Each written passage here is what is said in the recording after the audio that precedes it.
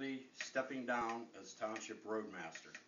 I will be staying on as a Township Supervisor and accepting the duties of Township Supervisor according to second-class Township Code Book. I am also requesting a continuation of my medical benefits according to Section 606C1 for the remainder of my term, which ends December 31st, 2013.